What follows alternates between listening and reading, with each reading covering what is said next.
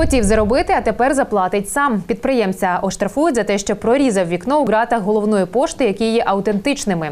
А зробив це чоловік тому, що винаймає приміщення в будівлі установи і крізь вікно продає каву.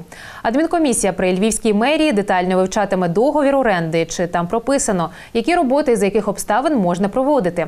Оскільки порушник є фізичною особою підприємцем, то максимальний штраф, який могли накласти, становить 1700 гривень. Щойно дізнавшись про ситуацію, кавовий бізнесмен зачинив вікно, а вирізану частину ґрат встановив назад.